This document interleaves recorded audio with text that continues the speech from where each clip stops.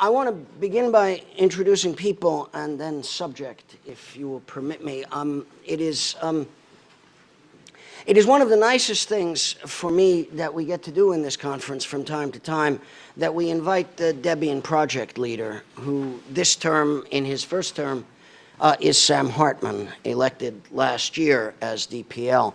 I love it when the DPL comes to the conference uh, because uh, people whose businesses work extremely hard uh, to distribute software and get it out the door in clean and reliable condition uh, are always a little bit surprised to discover that a community of people operating under conditions of pure democracy and with minimal hierarchy manages to do that for 53,000 packages or so in several different aged versions every year, all the time, like slow clockwork. Uh, exposing the DPL to this community is, in that sense, a window into what it is that we can do that not everybody even knows that we can do. But both panelists today are expert in that. Sam, uh, who uh, is uh, just another part of MIT's contribution to the world of freedom, uh, began working on Kerberos when Kerberos was young and has worked on Kerberos throughout and is uh, therefore responsible for pretty much the only theoretically and practically strong system of high network security for real people to use in the academic and business worlds that anybody ever made. Um, once again, it's important to point out that we were working on solving problems that people didn't know they had yet, and Sam's technical career has been about that. Uh, he has been the chief uh, uh, technologist at MIT's uh, Kerberos Consortium from 2002 to 2008, uh, and was then a member of the security team at the Internet Engineering Task Force as its area director in security, and now operates the largest invisible software company that makes slow and perfect software in the world. Um, Richard Fontana uh, needs less of an introduction in this room, but I just want to say that when you run a teaching practice, which I do, uh, occasionally you run across a lawyer who comes to work for you who needs no teaching.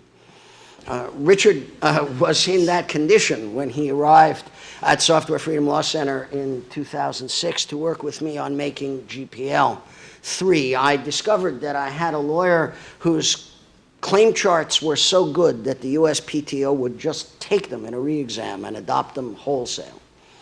And a guy who could do what I could not do, which was to keep his temper for 18 months while we made GPL3. And he kept his temper with me and with RMS and with the world, and it was a massive achievement, which I could not have taught him. Since then, he has been doing at Red Hat a number of different jobs. Uh, they call him senior commercial counsel, uh, but that's because I didn't want IP in my title. Yeah, yeah, well, that was a good choice, but it left out the takes care of Fedora, which is a really important part of this story because Richard too understands how communities of I, I, I, don't know, can I say about Fedora that is non hierarchical? I, the hidden hand is the only hierarchy in Fedora, let us put it that way. And, and, and Richard has managed both the hidden hand and the beauties of community um, almost uh, at the same level of complexity that Sam has.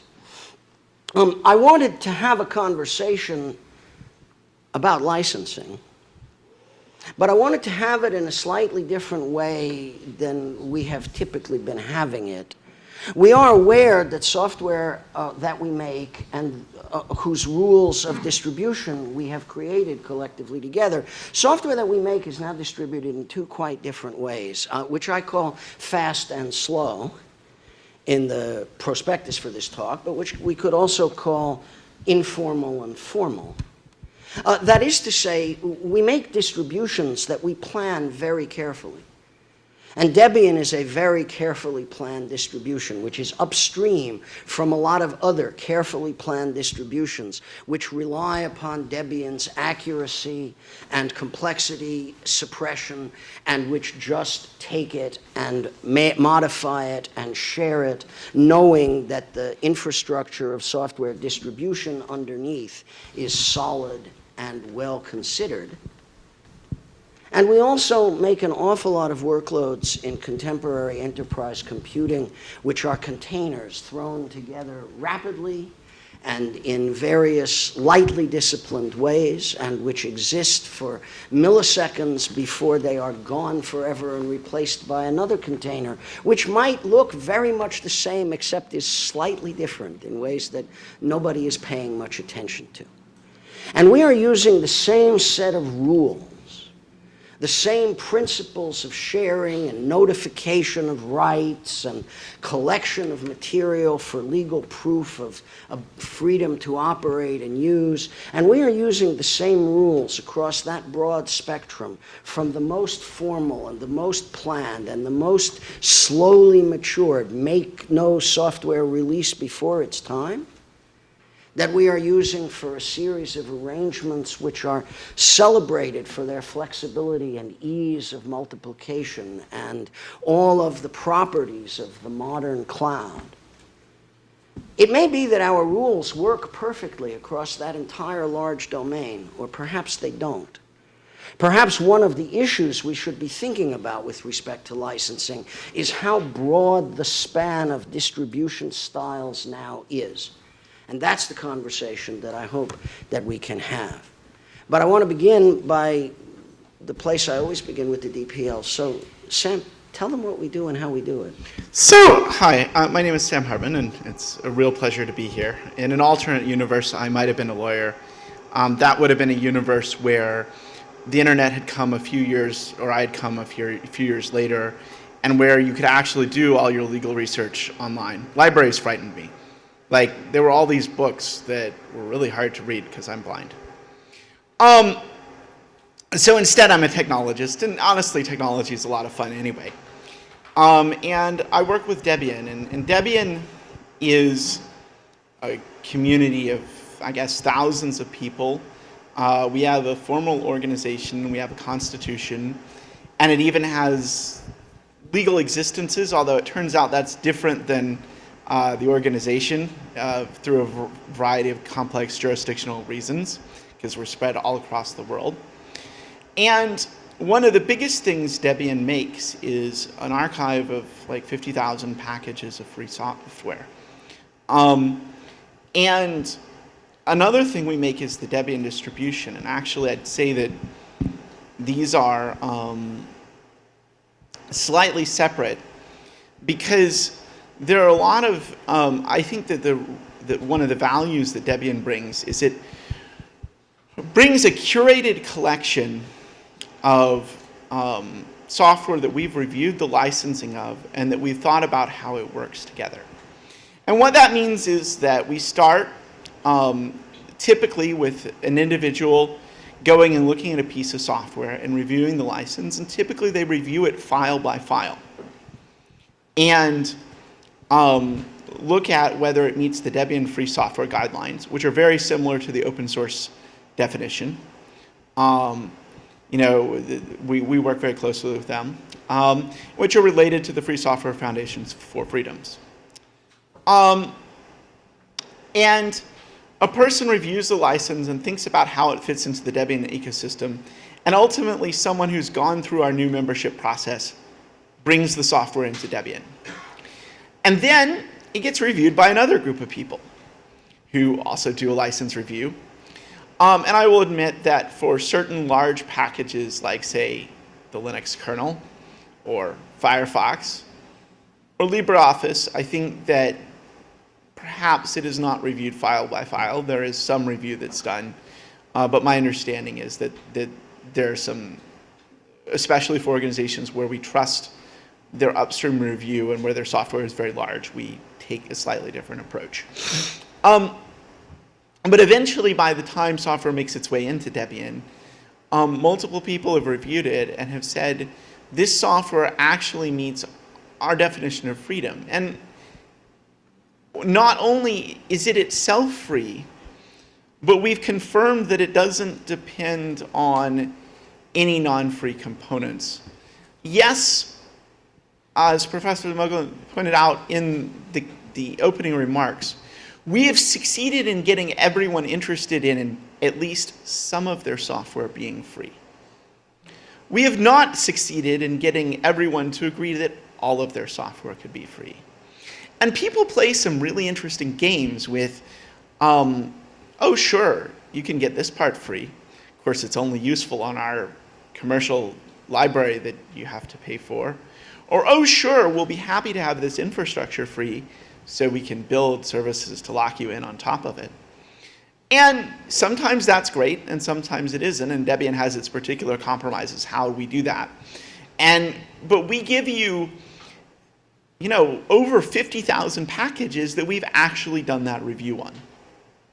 The second thing we do is we take those packages into a stable distribution of Debian uh, that comes out every couple of years, and that is a consistent set of those packages that work together, work reliably, uh, and that move very slowly uh, once the stable distribution is released.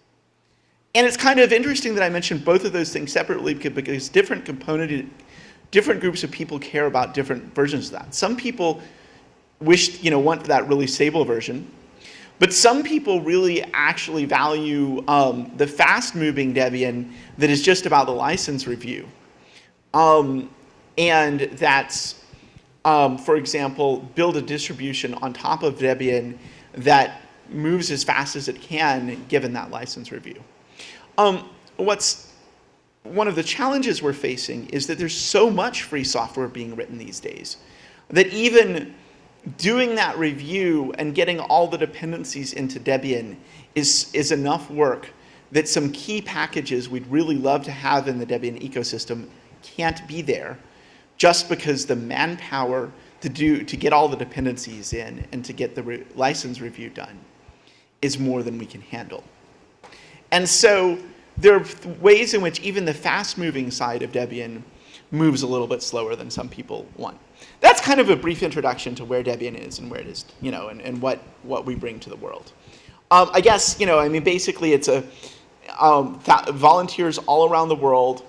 Um, there's a membership process you can go through to become a voting member. There's a lot lighter weight process you can become to, to get packages into Debian and an even lighter weight process to communicate to the to um, contribute to the community, suggest changes, suggest um, work on bugs, participate in our discussions.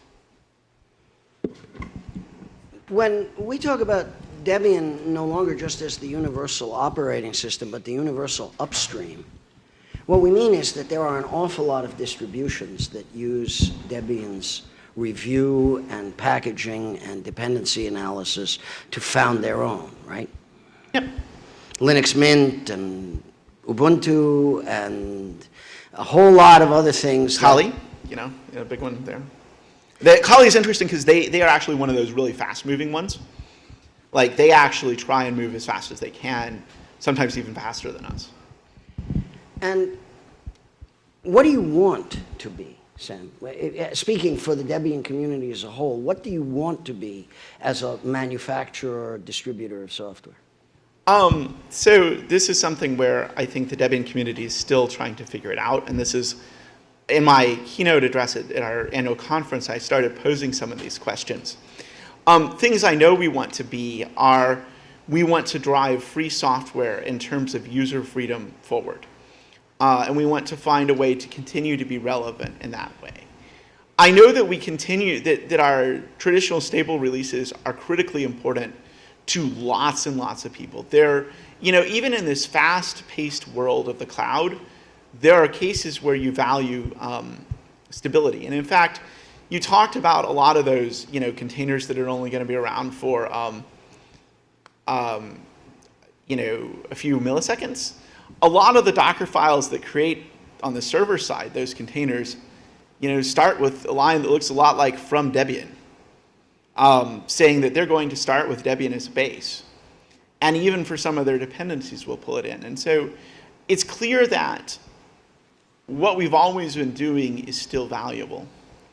I think the interesting question is that we're still struggling with, and I, it's not the DPL's job to answer these questions, but more to pose them and to facilitate discussion. And the interesting question is, are there ways that we can better deal with the software that's, you know, so that's hard for us to bring into Debian?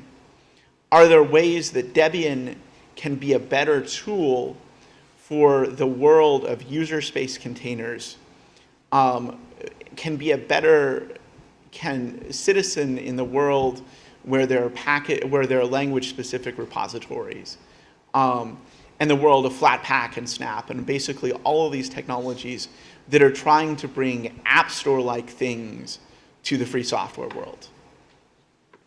And how can we do that while actively respecting user freedom rather than just letting this be a way of bypassing user freedom and, and giving um, control to whoever is willing to throw a package out there on the internet? And I think that's the question we're trying to answer. Richard, what is the what is the the informal sector like in that sense? What is the what is the polar alternative to that process of file by file examination and license checking and stable distribution releases for years on end? Well, so the, the basic um, problem that I see that, that I think is reflected in some of what, what Sam was talking about uh, initially is that there's this growing, uh, there's been this growing gap, at least this, this is the point of view I think that some of us on the, who kind of work close to Linux distributions, uh, the, way, the way we see it, a, a gap between what developers want and what the makers of distributions uh, want to, to create. So developers um, are you know, increasingly impatient with uh, the pace of distributions like Debian or even faster paced ones like uh, Fedora. Um, developers want, um, you know, often want the latest uh, versions of software. They want software that, um, let's assume it's free software or open source, but it, it uh, is just not packaged in any distribution, and that's partly an issue of uh, resources, as Sam, Sam was saying. Uh, as big a uh, project as Debian is, it can't package everything. Uh, Fedora can't package everything. Red Hat Enterprise, Linux can't package everything that developers currently want. There are, um, I don't even know how many, like the, um, perhaps hundreds of thousands, uh, maybe, of, of, of, packages in certain popular languages that, that are not um, really adequately packaged um, in these traditional um, Linux distributions that grew up in the you know the 90s and the, the earlier 2000s. So um, developers want a, a, kind of more flexible way of getting software. They want to to create complex stacks that may have multiple versions of the same upstream code base. And um, so what developers want is is is something that looks a lot more in informal in terms of how the stack is kind of created than the, the more sort of uh, uh, streamlined and disciplined sort of system that the distributions uh, worked on creating for, for many years. And in order to make the user space activities packageable, we have devised container formats which layer software on top of other software, which load the same binary in multiple versions uh, through different la layers in the same container, how do we know that there is complete and corresponding source code available for the correct binary that that container actually executes when somebody picks it up and starts running it? How much administrative overhead of that kind will be consistent with the sort of fast-moving software that you're talking about? So for some of them, it's pretty easy to know. Um, I've actually seen some, you know, blog posts that talk about um, how to construct your your continuous deployment pipeline for these kind of software stacks, and um, you basically you end up having testing for that. You um, you have, for example, there are bots on GitHub that will go out and look at your dependency stack and open merge requests whenever your dependencies are out of date. Um, and if your test coverage is good enough, you, you can get that. And then other ways you can approach programmatically um, using automation, determining that they're, you know, that there's source code and that it's all built. Um, and so it is totally possible for a sufficiently motivated organization um, for a given software stack to do um, a version of that software stack that's excellent from a free software standpoint. And yet, it's also totally possible to go, gosh, I'll just throw this binary blob in here. And the answer is if you're a developer of, the, of, of that stack, you might very well know that what you have is excellent. But the challenge that I don't, that I, where, the reason I think that third-party mediaries like distributions um, or something evolved from them have a real place to play is because there are these people other than developers. We call them users. It's their freedom that matters. And right now, they don't necessarily know that some Docker image they're getting or some Python wheel that they're getting gives them all the freedom they want. Um, they don't know that this that an npm package they're getting doesn't have a bug in its minified JavaScript um, that's going to go send their Bitcoin uh, off somewhere they wish it didn't happen. That that's a very real example that did in fact happen to an unfortunate um, uh, package in that ecosystem. Um, and so, yeah, I, I, think that's the, the interesting question is how to get this sort of fast-paced stuff, but also to give users guarantees about freedom. Richard? Yeah, so the, the problem uh, that I see uh, with respect to containers and um, uh, specifically, you know, the, the need to have complete corresponding source code is that these um, systems for uh, very conveniently and easily obtaining those those layers you talked about grew up uh, were sort of designed and built by um, uh, people, companies that, that were not primarily concerned with um, compliance. So uh, the, the, this technology was popularized um, without, without um, source compliance or, or uh, license compliance in general being a, a primary goal in mind. Whereas I think that one could say that the distributions like, like Debian and, and Fedora grew up with um, license compliance and, and, an attention to legal detail as a, as a, uh, as a primary um, objective, um, in addition to you know, wanting to create conveniently consumable software.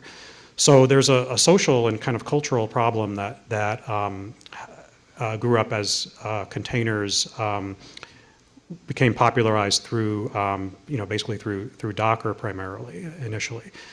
And um, uh, so we're kind of, we're kind of, you know, living through that now. And, and the, the distributions are, uh, uh, you know, like, like RHEL and Fedora and Debian, um, they, they now have a, a, a, kind of special new role to play in the containerized world because they, they, um, there's an additional argument for why you should be getting, you know, building your, your container layers from stuff that is um, uh, carefully sourced from, from you know, well-known distributions, which is that you can, um, you should be able to to find out, you know, where your layers come from, you know, what what your what the packages were, you know, generated from, where the source code is. Um, so that's, uh, you know, I, I, hope that we are sort of transitioning uh, from the sort of, uh, you know, Wild West kind of scenario that initially existed with some of these container registries towards a more um, a kind of like a marriage of the traditional uh, distribution, uh, GNU Linux distribution with with uh, you know the convenience of being able to create and then easily deploy containers. Well, as Sam pointed out, right, that's because the users' rights were so important to the people making the distributions. They had a copyleft mindset, even when they weren't dealing with copylefted software. They were still thinking out of a mental framework in which it is the preservation of the user's rights, which is the raison d'etre for the way we handle the software, which isn't necessarily in tension with a developer's rights. I want to get my best software and put its best foot forward out into the world as quickly as possible. I am paid to make these workloads jump. But it's not necessarily consistent with that either. Um, what, what, what Sam said and what you were picking up on is that we can have technical best practices for doing that. And Sam says Debian needs to learn to get a little faster in the sense that it needs to deal with forms of distribution like Flatpak and Snap that, that may allow us to, to uh, uh, speed developers' interests, but we're still going to have to figure out how to subject all of that to the user's rights perspective, which is fundamental to our reason for existing. And you said we're getting better at that because the people who happened to build the technology first in the world of containerization and mobile workloads and ultimately cloud native computing, they, they began from a perspective which didn't necessarily take users' rights as seriously as the traditional distributions. Do I have you correct? Yeah, that's a good way to, to, to put it. So if that's right, then one part of what we can do is technical, as Sam is saying. We can, we, we can take comfort from the fact that our deep, warm friends and allies at Microsoft now own GitHub and they can do wonderful things to help developers who use it and they can create whole ranges of new autonomous processes for helping to cover these gaps. Are there things that we could do on the licensing side that would also help? I think, I mean, I think that's the big question, right? Is that I think, so it's not that Debian necessarily needs to move faster, for example, to work with Snap and Flatpak. It's that I think there's a community question of helping people understand the value of an intermediary. Basically, in, in some real senses, Fedora or Debian actually audit um, license compliance and audit supply chain issues um, so that and, and, and audit some quality issues. Um, and honestly i think that even in a fast-paced world that kind of auditing has value. And i think the, the interesting question is to figure out how to bring using whatever technology you want, but figuring out how to bring that kind of third party review into other processes uh, in a way that preserves user freedom is, in my mind, one of the big open questions in um, kind of free software distribution today. And I don't have answers. I'd like to start a conversation. I'd like to, to figure out basically the thing, the, the one thing I've come up with is I think that having third parties in the mix helps. So one thing about about third parties in this uh, context, I'd like to say is, uh, so th- there are these other intermediaries that have grown up um, kind of around the same time as the the Linux distributions, uh, but some of them sort of grew up later in time. Uh, they, they exist at a higher point in the, the kind of the stack uh, or the universe of um, of free software code that I am kind of visualizing. So these are the language specific uh, upstream packaging systems that um, are out there uh, that are kind of uh, standing in, in between, in many cases, the, the, uh, the initial project, the original project, and the you know, potentially uh, a distribution like Debian or, or Fedora or RHEL downstream. So these are these are things like like uh, you know N- npm or um, uh, Maven Central, PyPI. uh, PyPI, exactly. Um, now the problem is that so the, these these have grown up in part because uh, what I was saying earlier that the the, the distributions. Um, uh, haven't been able to um, keep up with the demand for uh, packaging, you know, more and more software and more and more uh, versions of, so- uh, of upstream software. Um, but the, um, the, the, the folks who are kind of developing uh, or maintaining those upstream uh, parallel package, package management systems that are sort of language or platform specific uh, don't have the same sort of tradition or culture of, of um, you know, care about licensing, you might say obsession with licensing and, and, and the, the tendency to, to want to audit that we see in the distribution world. And so I think that the challenge is how to kind of um, uh, transfer that, that sort of um, older distribution culture a little bit upstream to those language-specific or platform-specific um, package management systems. So, so actually, I'd like to distinguish between two categories of intermediaries. I think you have intermediaries who are pro- providing a platform uh, that's effectively an unmoderated platform, like GitHub, um, and then you have intermediaries like the distributions that are actually kind of providing an auditing point. And and I think a lot of the language-specific repositories look a lot closer to the first. Like they're they're, you know, they don't have a lot of requirements. Um, I don't know a lot of people who have, you know, who've not, who've had trouble getting their node package into NPM.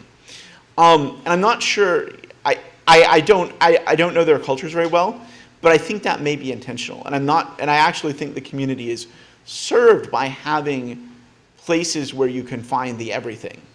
Um, but I also think that finding a way for some of that second category of intermediary that, that does care about review might be valuable to the community.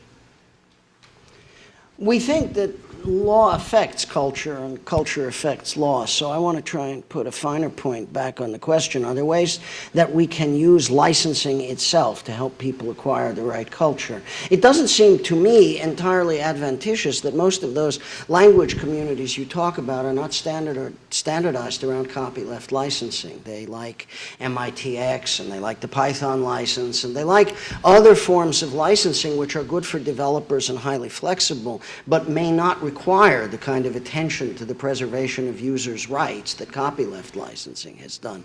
Is there a way that we can use licensing itself to cause the conversation within communities of programmers to become more conscious of the preservation of users' rights? Can we make copyleft simpler, or can we make permissive licensing more complex in some way that will help? Uh, do you have any specific examples? Well, I'm talking also to Richard, who is a license maker Oh, sure. and who might have ideas of his own about that. Have your thoughts gone there? Uh, Well, so I, I don't, I don't think that making permissive licensing more complicated is, see, it doesn't strike me as being a a viable approach for, for cultural reasons, because, uh, so, so you you Because permi- something. people use permissive lic- permissive licensing because they want to rock and roll. and Well, we you, you said, you said something very interesting, which is that these, uh, these upstream intermediaries, the language-specific intermediaries, uh, they, they see, a lot of them at least, seem to, um, uh, uh, they, they, they they tend to be u- universes of packages that, that um, look like they're more likely to be per, do- dominated by permissive licenses than copyleft licenses.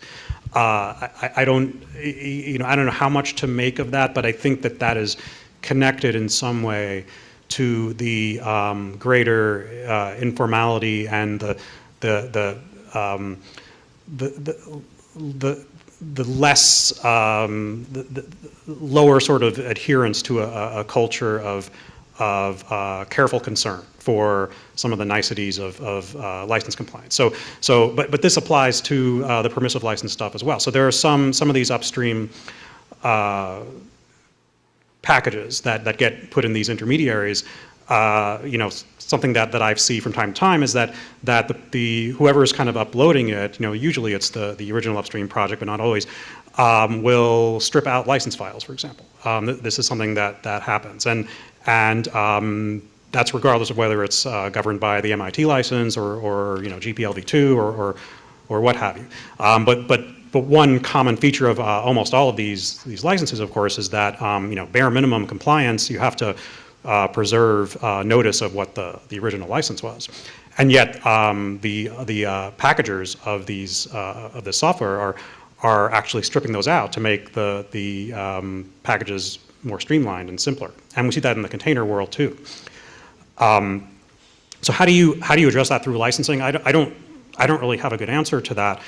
I have thought that um, on the copyleft side, um, you know, this is this obviously becomes the compliance becomes more acute, I think, in, in, a sense than than uh, on the permissive license side, uh, if only because the the original licensors may uh, maybe this is kind of a copyleft bias, but they may care less about about compliance ultimately compared to um, the copyleft licensor. But how do you um, how do you use licensing to make sure that um, you know complete corresponding source code is available to the to the user?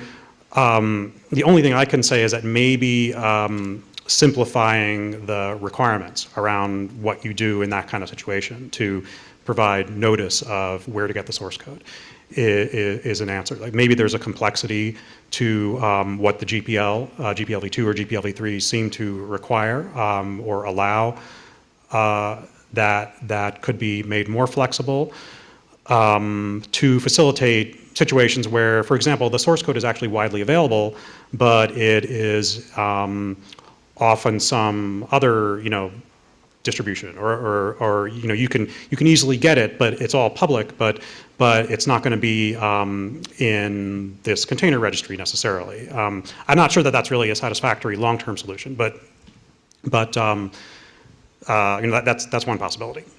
I, uh, my heart warms to it, but um, this may be the only room in the world where there will be people who will have questions about a conversation like this, and we should let them have them. People want in? Sam, you want to say something? more? No, no, no. I mean, we, you- you've stuck us up here for people to throw fruit at us, you know, on these high seats. I mean, if people aren't going to actually jump in, what's the point of all that? apologize for being in the worst possible location for getting my. But all right, we can make it. Oh, can we use these? Oh, okay. Yeah. Thanks. Um, I wanted to mention that the, um, the discussion about containerization actually even applies to end users now, containers which are not distributed at all. For example, um, prior to Debian Buster being released when I was still using Stretch, um, in order to use the most recent release of the CertBot tool, you had to install it from PyPI. You couldn't use the Stretch version because it was missing features that everybody wanted. So you then use the Python mechanism virtual env for those who care about that sort of thing to create an ad hoc container to install it into so you can get the most recent versions of the dependencies and not be stuck with the version that was available in the distribution. So this becomes even an issue just for even for end users, not just for people who are distributing things. The pace of the package development and release is so so fast that there's I don't think any team of moderators could actually keep up with that. And yet, the, thing is that there are still people who value that moderation, right? That's that is the big challenge I think we're all facing. Is like if we decided that license compliance and avoiding malware weren't important, the solution's simple. Um, unfortunately, we kind of like those things.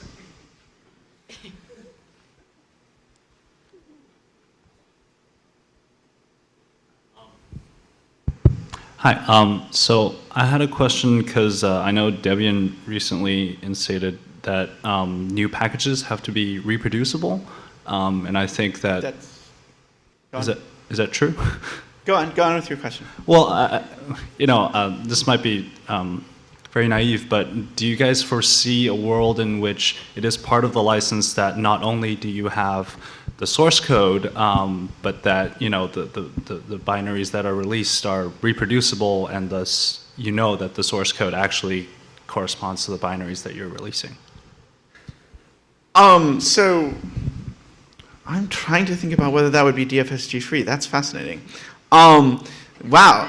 It couldn't be because if you pass certain command arguments, you're going to get a different. So, well, no, but I mean, if you did pass the same with, the, with like, would would um, no, but I, let's say that um, if your license said that you had to have a license that or had to have binaries that were reproducible given you know and you had to describe the build environment well enough that it was reproducible if you're going to distribute um, that seems like an awful burden to make an individual user face before giving a copy of a binary to a friend, honestly.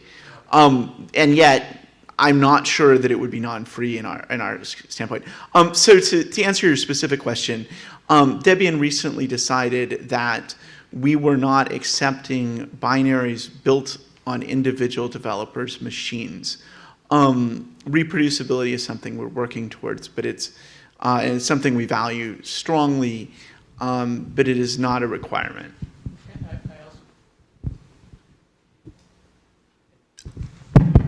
I just, I just want to add, that would seemingly proscribe the use of non-deterministic compilers.